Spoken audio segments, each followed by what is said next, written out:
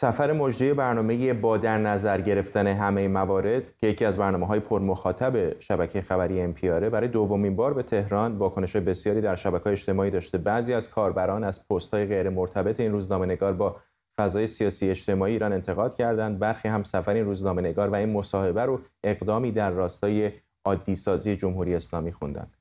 بهروز تورانی روزنامه‌نگار و پژوهشگر حوزه رسانه از بریتانیا با مساق تورانی شما بهتر از من می‌دونید که چه جنجالی همیشه بین سردبیران و روزنامه‌نگاران در مورد پوشش های این چنینی وجود داره. کشورهای مثل کره شمالی مثل ایران مثل برمه های خبرنگاران با توجه به شرایط حاضر روی زمین باید تن به اون محدودیت ها بدن برن و اگر برن آیا بخشی از پروژه عادی سازی اون حکومت ها میشه یا نه؟ موقعیت های اینطوری اول سلام به شما و به بینندگان. موقعیت های شبیه 22 بهمن معمولا در سال یک بار دو بار بیشتر پیش نمیاد و حکومت ایران سعی می‌کنه تا جایی که می‌تونه تعداد بیشتری خبرنگار رو از کشورهای دیگر به ایران ببره و به قول خودشون پیشرفت های خودشون رو بهشون نشون بده.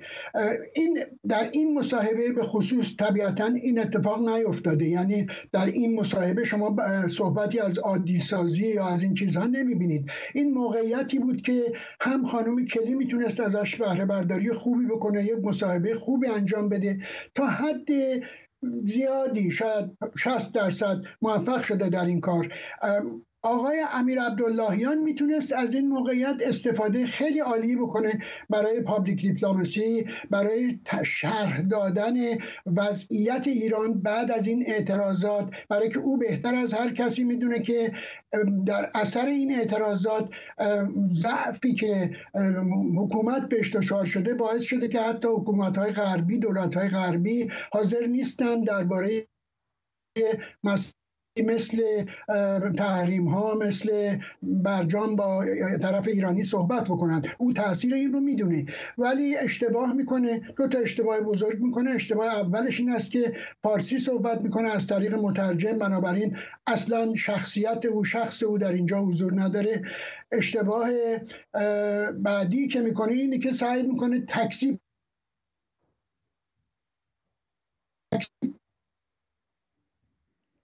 آقای تورانی ارتباطمون با شما به گمانم قطع شد. صداتون منقطع بود. نمی‌دونم هنوز صدای من رو میشنوید یا نه. به نظر نمیاد که ارتباطمون برقرار باشه. اگر بتونیم امیدوارم در ادامه برنامه آقای تورانی فکر کنم ارتباطمون دوباره برقرار شد. بفرمایید. خب اگر برقرار شده که خوبه. که خوبه. ارز کنم به خدمتتون. بنابراین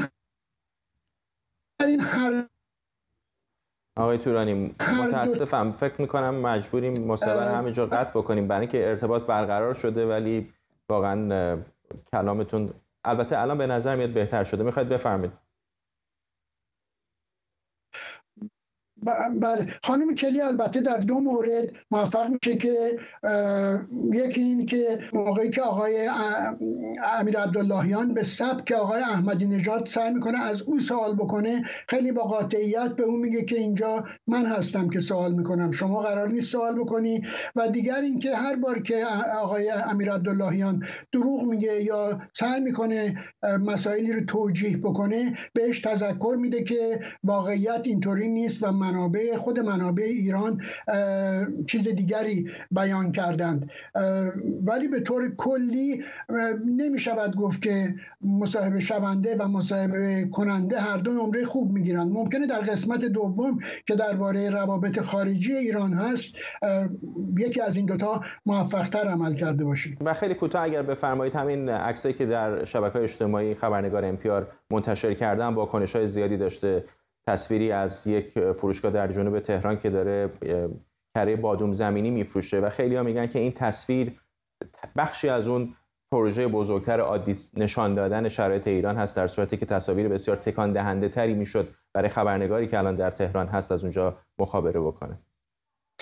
تا حدی درسته ولی در تهران به هر حال در این لحظات تا یک مقدار زیادی زندگی عادی جریان داره. یعنی به اون شدتی که در خیابون شما فعالیت های معترضان را می‌دیدید مثلا حتی تا یک ماه پیش الان به اون شدت دیده نمیشه به دلایل بسیار زیاد که جای بحثش در اینجا نیست. ولی تکان دهنده ترین صحنه ای که در اینجا شما می‌بینید من می‌بینم تصویر این خانم با روسری در دفتر وزارت خارجه و اون برخورد توهین آمیزی که باهاشون میشه خودش میگه در مقدمش که ما پشت درهای متعدد ما رو نگه داشتن معطلمون کردن از این اتاق به اون اتاق بردن تا با ما صحبت بکنن. برای وزارت خارجه ایران جمهوری اسلامی حتی شایسته نیست این رفتار با خبرنگاران. در ضمن آنچه که این خبرنگاران در مصاحبه هاشون می‌گیرند و بیان می‌کنند در اون موقع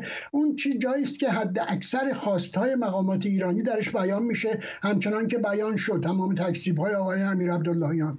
تقریبا در صد درصد موارد این خبرنگارها بعدا مقاله ای می نویسند گزارشی یا شرحی از سفر خودشون می نویسند که در اونجا می شود با موشکافی بیشتری به این پرداخت که حالا این خانم خبرنگار عادی سازی کرده یا واقعیت رو درست باستاب داده یا نه.